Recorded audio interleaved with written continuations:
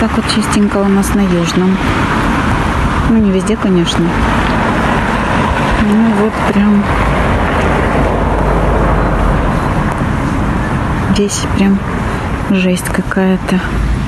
Это кадры из барнаульского поселка Южный. Во дворах довольно чисто, а на выходе из них про уборку, кажется, совсем забыли. Скорее всего, ответственные за чистоту, как и вся страна, находятся на самоизоляции. Похожая ситуация и в других районах Барнаула. Главные улицы и проспекты города чистые, а вот все, что за ними, практически не убирается. К примеру, это печально известный парк по адресу Пятая Западная. О нем жители писали недавно в социальных сетях.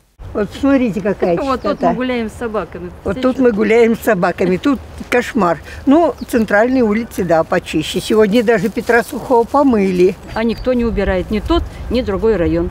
Там вообще КАМАЗы заходят. Вот прям КАМАЗы со стройки и вываливают. Вот такая у нас вот чистота в городе.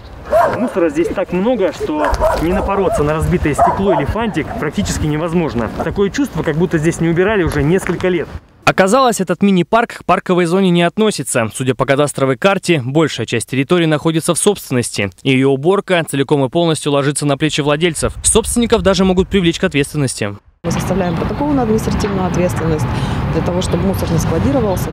Что касается других городских территорий, в администрации признали. Нынче темпы уборки далеки от прошлогодней. Все массовые акции по наведению порядка пришлось отменить из-за режима самоизоляции. Пока до 30 апреля. Но ответственные за уборку от мусора дворов, парков и небольших улиц и улочек есть и сейчас. Кто должен убирать дворы и улицы? То есть действительно у нас управляющие компании, они являются коммунальными службами, соответствующую уборку они проводят.